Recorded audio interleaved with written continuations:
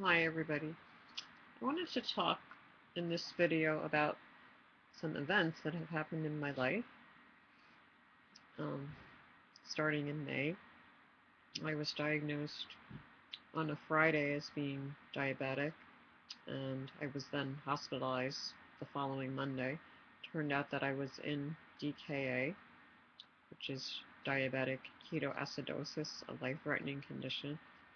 Um, and Unfortunately, my doctor made a huge error and didn't hospitalize me immediately. The Friday when I was diagnosed, I already had 100 protein in my urine, 1000 sugar in my urine, 160 ketones. I was having uh, breathing problems that you get when you're in DKA, and many other symptoms, including blood glucose of 279 at the diagnosis. Um, so what happened was I got sicker and sicker over the weekend, and I wasn't thinking very clearly. Um, I ended up, you know, was vomiting. Um, the breathing was getting worse. I wasn't able to keep food down.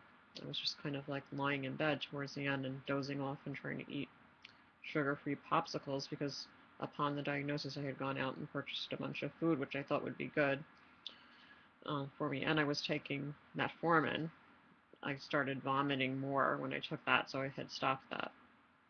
Um, basically, my doctor gave me metformin, you know, prescription, told me I'm type 1.5 and type 2, I believe is what he said. I don't really remember because I was really out of it at the time. Um, and then said, come back on Monday and we'll see if you need insulin. So by Saturday, I was really in, in terrible shape. I called up the office.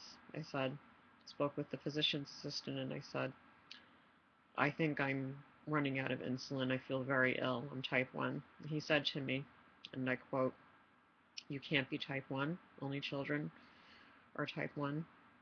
You can't be in DKA. I can tell from talking to you on the phone. And also, your blood glucose is not high enough. He didn't know what my blood glucose was, I believe, at the time. He said, You're probably vomiting because of the metformin, even though I was already vomiting before I went to see my doctor on that Friday, and I had told him about that, and you know, was having trouble breathing already at that point. And then he said in a sneering voice, "Oh, but you could go to the emergency room if you want to." Well, after that phone call, I became, you know, even worse physical condition, and I was so out of it, I didn't know what to do. I was, to be honest with you, I was scared to go to the emergency room, and I needed a doctor or a medical professional to tell me to do that.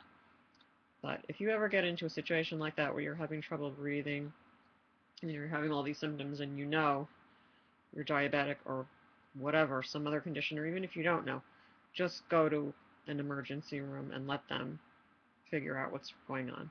It's not worth losing your life, and I could have. I could have gone into a coma. You know, it's getting to the point where it's just kind of lying in bed, dozing off, and, and trying to eat the popsicles. So, and by the time I got to the hospital on Monday, I was in very bad shape. I don't know how I was even walking around, and I was having, when I would close my eyes and open them, I was getting bursts of flashing light.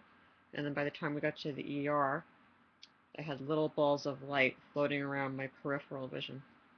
Very bizarre. And I was becoming more befuddled mentally, and I wasn't really walking that well at that point. Um, my family had taken me to the doctor, and then he finally hospitalized me.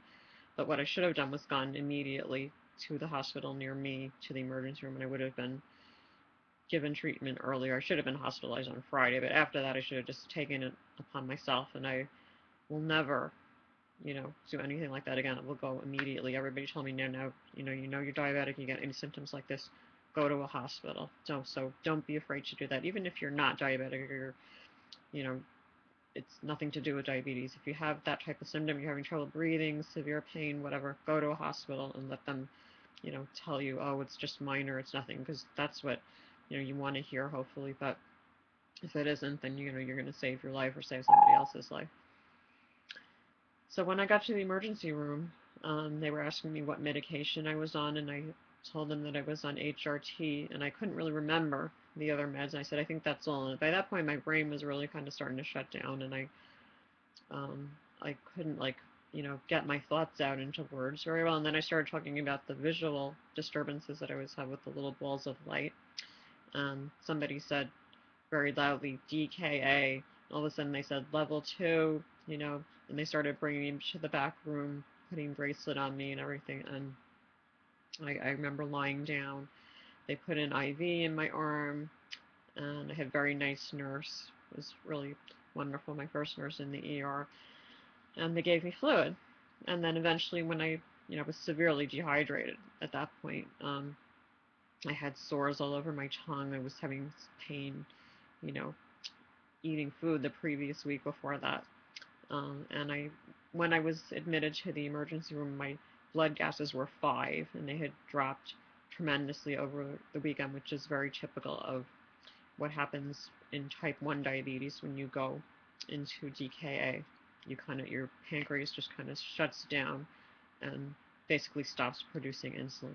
And then you go into the DKA, which is a metabolic change. Your body starts burning your fat and your muscles.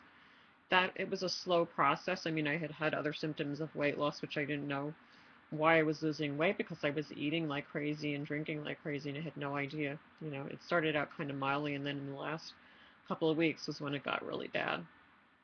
Um, I had visual disturbances before that. I had had 20 20 vision my whole life and then all of a sudden um, my vision had changed to 2070 and I had an astigmatism. I went to an eye doctor. He said, I can't find any physical cause for your visual changes. But again, no mention of maybe this could be diabetes. Um, you know, no mention of testing blood glucose or anything like that. So I really was failed by a lot of doctors throughout this whole time. Um, initially, when I went into this